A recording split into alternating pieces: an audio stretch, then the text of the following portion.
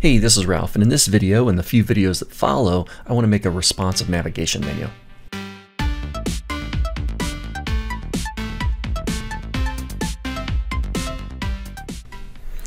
Okay, so this is a class exercise and we're going to handle this over a few videos, but I want to create a web page, a uh, responsive web page that has a navigation menu that is both mobile friendly and desktop friendly. Now to get started, I've already got a page you know set up here and I'm pretending that this uh, page frame div is just going to be like a web page. So this is just a kind of a demonstration uh, model of what we could do on other websites that we wanted to have responsive nav. So what I'm going to do is go ahead and get set up with some key sections of this particular page. There we go. So basically I've just got a header, what's going to be a nav area, the main, that's where we'll be doing our work today a main section, and a footer. I'm pretty much ignoring these other three, but I want to focus on the main nav. And I did give it an ID just in case that this website in the future had multiple navigation menus, which is reasonable. It's possible, it's very likely that a, a footer contains a nav as well, maybe even the main section. So, so that's the uh, the basic HTML structure for this page so far.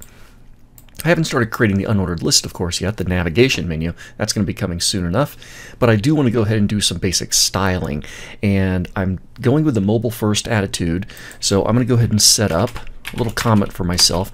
And basically, these are going to be styles for phone or for portrait tablets. So I'm going to use the same styling for phones, uh, for phone devices, and for tablets that are in a portrait orientation. I will use an at media screen and a min width of 300 pixels. Give myself a set of curly braces, and then I'll make a note that this is the end of phone styles. Now in anticipation of the larger sections, I'm going to go ahead and copy that. And this is going to be for desktops and landscape tablets. And for that, I'm going to pick a number, I think about 900 pixels. Most tablets have a width of 768 pixels device width, and then their height is usually uh, about 1024. So by the time we move this landscape sideways, its new width will be above 900, and that should take care of that. So I'm setting up the media queries. In fact, I'll go ahead and type my comment in here, end of desktop styles. So we're not doing three different styles here. We're not going to worry about phone, tablets, and desktops. We'll just do two. But the techniques are basically the same if you wanted to split this up into more parts. So now that we've got these, I can go ahead and put in some styling that will affect my uh, my phone, but since I'm using a min width media query, it's actually going to affect everything. So I'll go ahead and put in a few styles for the key parts. And there we go. And I'm going over this fast because it's pretty it's not too critical, and um, it's also things we've done in prior weeks. So notice I've just got my header, nav, main, and footer. I've all I've given them all a slightly different background color just so we can visualize them, and I've go ahead, gone ahead and set heights. Noticed I used a min height for the main section. I do that often for main sections just because you never know when that's going to need to stretch and get taller because of content. However, for the header, the nav, and the footer, I'm confident those will not need to get taller, so I'm okay with setting the heights. Let me go ahead and save this, head over to my browser and refresh.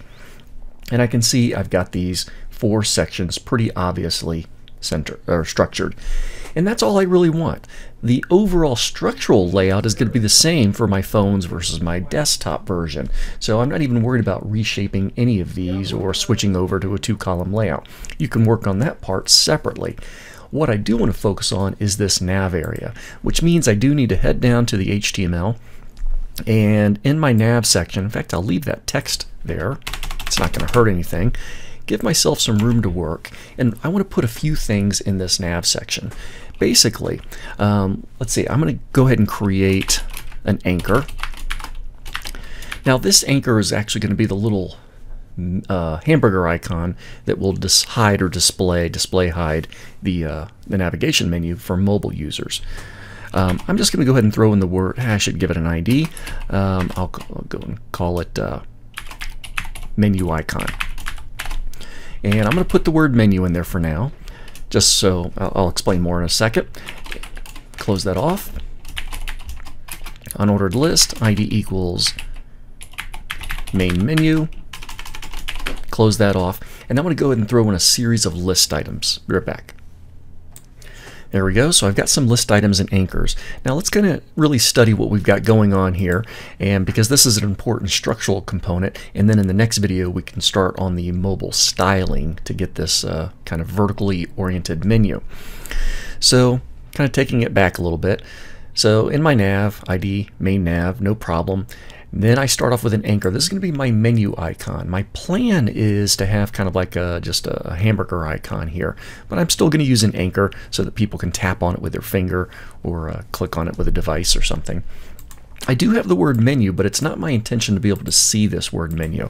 I'm actually going to wrap this in a set of italics tags, um, which are for the most part deprecated. You really don't use italics tags much anymore, but my plan is to for, for mobile display is to use some really big padding or something on this so that the text isn't visible to anybody, but the text is still there. So that way a vision impaired person who is using some kind of a browser reader or an aural reader would understand that this hyperlink has the word menu there. So I don't intend for for people to see this word, but I'll deal with that later when I start with the styling. Now into the unordered list or the main menu here. You notice I have a series of list items, and each of those list items contains an anchor. That's exactly what I want. You will notice that some of the words have spans around them. My plan of action is for the vertical menu on mobile devices, I want all of these words displayed. But when this menu is displayed horizontally for desktop users, I'm going to hide the span text, and so only a few keywords will display. So basically, the horizontal menu is going to have smaller menu text than the vertical menu. Vertical menu has more width to deal with, so I can have greater, uh, longer menu item text in there. So that's basically the structure. So go ahead and make note of this structure, and what we'll do next is start the styling for the mobile devices.